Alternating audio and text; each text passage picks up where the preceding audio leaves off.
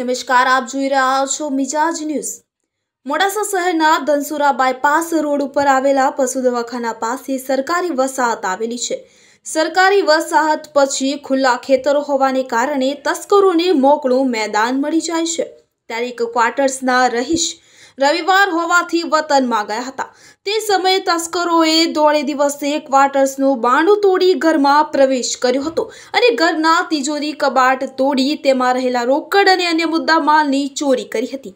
આજે વિસ્તારમાં છેલ્લા છ માસમાં આઠમી વખત તસ્કરોએ તસ્કરીની ઘટનાને અંજામ આપ્યો છે. પોલીસ લાઇન અને જિલ્લા પોલીસના ઉચ્ચ અધિકારીઓના ક્વાર્ટર્સ પણ બાજુમાં જ છે. ત્યારે પોલીસ માટે પણ આવી તસ્કરીની ઘટનાઓ પડકારજનક છે.